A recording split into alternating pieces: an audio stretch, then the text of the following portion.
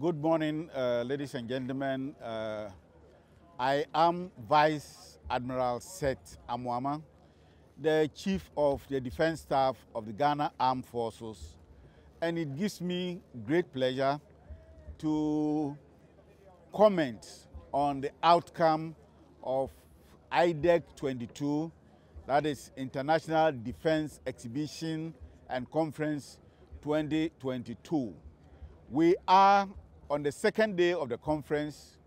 It hasn't come to an end yet, but from all indications, by all standards, and from the comments that have been expressed by participants, attendees, uh, VIP speakers, it has been a huge success, well beyond our expectation.